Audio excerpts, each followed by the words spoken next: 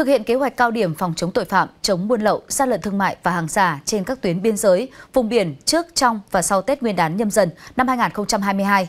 Ngày 21 tháng 12 năm 2021, tại thôn Hồ Sáu Trải, xã Chí Cà, huyện Xín Mần, tỉnh Hà Giang,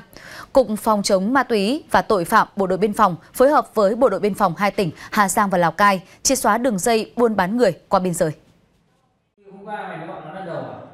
Các đối tượng bị bắt giữ bao gồm Sàng Xeo Vũ, 25 tuổi, dân tộc Mông, ở Lào Cai, Tráng Xeo Pao, 45 tuổi và Bủ Sao Tám, 29 tuổi, dân tộc Mông, cùng chú tại huyện Xín Mần, tỉnh Hà Giang. Lực lượng thực hiện nhiệm vụ cũng kịp thời giải cứu nạn nhân B, 22 tuổi, dân tộc Mông, ở huyện Mường Khương, tỉnh Lào Cai, đang trên đường bị các đối tượng đưa sang Trung Quốc bán. Đây là đường dây tuyển mộ, rụ rỗ, lừa gạt phụ nữ, nhất là phụ nữ đồng bào dân tộc thiểu số có hoàn cảnh khó khăn từ Lào Cai, Hà Giang bán sang Trung Quốc.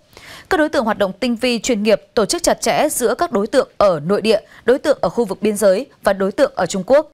Hiện Cục Phòng chống ma túy và tội phạm Bộ đội Biên phòng đang chỉ đạo tiến hành truy xét các đối tượng liên quan.